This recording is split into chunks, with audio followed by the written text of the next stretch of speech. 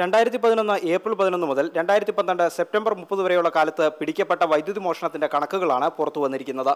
ഇക്കാലയളവിൽ മൂന്ന് കോടി അൻപത്തിയാറ് ലക്ഷത്തി എൺപത്തിനാലായിരത്തി മുന്നൂറ്റി പത്തൊൻപത് കോടി രൂപയുടെ വൈദ്യുതി മോഷണം കെ എസ് സി ബിയുടെ ആന്റി തെഫ്റ്റ് സ്ക്വാഡ് കണ്ടെത്തി. രണ്ട് കോടി എൺപത് ലക്ഷത്തി എൺപത്തെണ്ണായിരത്തി എഴുന്നൂറ്റി പതിമൂന്ന് കോടി രൂപ പിഴയായി ബോർഡിലേക്ക് അടപ്പിക്കുകയും ചെയ്തു.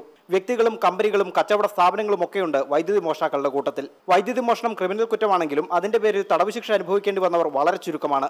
ഇത് വൈദ്യുതി മോഷണം വലിയ കുറ്റമല്ല എന്ന ധാരണക്കിടയാക്കിയിട്ടുണ്ടെന്ന് വിവരാവകാശ പ്രവർത്തകനായ രാജു വാഴക്കാല പറഞ്ഞു. അടിസ്ഥാനപരമായിട്ട് ചെയ്യേണ്ടത് ഈ ഈ വൈദ്യുതി നിയമത്തിലെ നിയമം ഭേദഗതി ചെയ്യണം. അതായത് മോഷണം പിടിച്ചു കഴിഞ്ഞാൽ അതിനെതിരെ ക്രിമിനൽ കേസെടുത്ത് ആ പ്രതിയെ കോടതിയിൽ ഹാജരാക്കി ശിക്ഷ വാങ്ങിച്ചു കൊടുക്കുന്ന നിലപാടിലേക്കും പോയാലേ ഈ വൈദ്യുതി മോഷണം നിൽക്കൂ വൈദ്യുതി മോഷണത്തിന് ആദ്യ തവണ പിടിക്കപ്പെട്ടാൽ മോഷ്ടിച്ച വൈദ്യുതിയുടെ വിലയുടെ ഇരട്ടിയാണ് പിഴ ഈടാക്കുന്നത്. വീണ്ടും പിടിക്കപ്പെട്ടാൽ ആറ് ഇരട്ടി വരെ പിഴ ഈടാക്കാം. ഇലക്ട്രിസിറ്റി ആക്ട് രണ്ടായിരത്തി മൂന്ന് പ്രകാരം വൈദ്യുതി മോഷ്ടാവ് കോമ്പൗണ്ടിംഗ് ഫീസ് അടയ്ക്കാൻ തയ്യാറായാൽ ക്രിമിനൽ കുറ്റത്തിൽ നിന്ന് ഒഴിവാകും. വൈദ്യുതി പ്രതിസന്ധി ഏറ്റവും രൂക്ഷമായ സമയത്ത് മോഷണം നിയന്ത്രിക്കണമെങ്കിൽ നിയമം കൂടുതൽ ശക്തമാക്കുകയും ഉള്ള നിയമം കർശനമായി നടപ്പിലാക്കാൻ ഉദ്യോഗസ്ഥർ തയ്യാറാവുകയും ചെയ്യണമെന്നാണ് ചൂണ്ടിക്കാണിക്കപ്പെടുന്നത്. India vision Kochi.